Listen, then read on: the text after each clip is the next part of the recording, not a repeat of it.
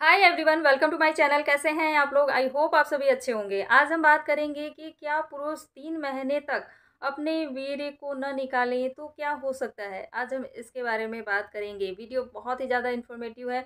अगर आप लोगों में से कोई ऐसा करता है कि अपने वीर को निकालता नहीं है सही समय पे या फिर सेक्स एक्टिविटी नहीं करता या फिर मास्टरबेशन करके नहीं निकालता है, ठीक है?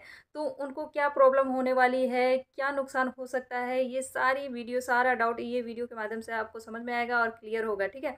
वीडियो को लास्ट तक ज़रूर देखें, तभी आपको सही इन्फॉर्मेशन मिल पाएगी। चलिए जानते हैं। देखो, पहले के ज़माने में क्या होता था, लोग सोचते थे कि जो वीर है, अगर बहुत ज़्यादा निकल जाएगा तो कमज़ोरी आ जाएगी, थकान आ जाएगी, शुक्राणु शुक्राणु की जो संख्या है वो कम हो जाएगा, हम पिता नहीं बन पाएँगे आने वाले समय पर ऐसी भ्रांतियाँ होती थी। ठीक है, जिसके चलते वो बहुत ज़्यादा मतलब संबंध नहीं बनाते थे, अपने शुक्रवाणियों को बचा के रखते थे, वीर को निकलने नहीं देते थे, ऐसा। लेकिन ये पूरी तरह से गलत फहमी है।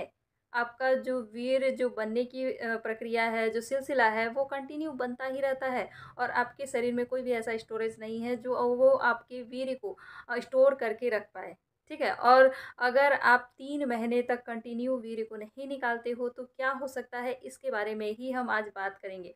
तो देखो, अगर आप तीन महीने तक कंटिन्यू वीर्य को नहीं निकालते हो तो सबसे पहला चीज़, आपका जो मूत्राशय है, वहाँ पे दर्द हो सकता है, सूजन हो सकता है, आपके लिंग में दर्द हो सकता है, आप नपुंसकता के शिकार हो सकते हैं मतलब भविष्य में आप पिता बनना चाहोगे तो वो चीज़ें भी नहीं हो पाएँगी। साथ ही साथ जो अगला, जो मेन कारण है मेन जो है, वो है शुक्राणुओं की जो समझ संख्या है, वो घट जाएगी, कम हो जाएगी।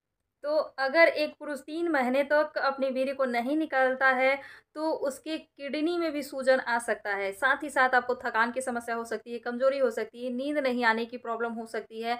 आप आने वाले समय में पिता बिल्कुल भी नहीं बन पाओगे, क्योंकि आपका जो शुक्राणुओं की जो संख्या है, वो बिल्कुल समाप्त हो जाएगी, जिसके चलते आपको ये समस्या हो सकती है। तो प्लीज़, जो भी ये सोचते हैं ना कि हाँ मैं अपने वीर्य को इकट्ठा करूँ, निकलने न दूँ, रोक के रखूँ, है ना तो वो बिल्कुल भी ऐसा ना करें, सही समय पर इन सब चीज़ों को ध्यान दीजिए और अगर आप कंटिन्यू रिलेशनशिप बनाते हो, आप एक शादीशुदा कपल हो तो कंटिन्यू अगर रिलेशनशिप बनाते हो हफ़्ते में दो तीन बार तो क्या होता है आपके आपके बॉडी में डोपामाइन जो हार्मोन होता है, वो रिलीज़ होता है, जिससे आपका माइंड बहुत ही ज़्यादा हैप्पी होता है, आप अपने काम पे फोकस कर पाते हैं, नींद अच्छी आती है, आपको इस टाइप की सभी बेनिफिट मिलने को मिलता है।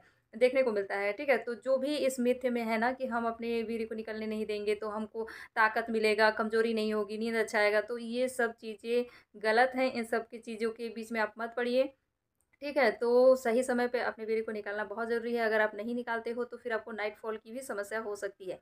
आई होप हमारी बातें समझ में आई होगी, ये इन्फॉर्मेशन अच्छा लगा होगा, मिलते हैं ऐसी कुछ और वीडियो के साथ, कुछ और जानकारी के साथ, ओके बाय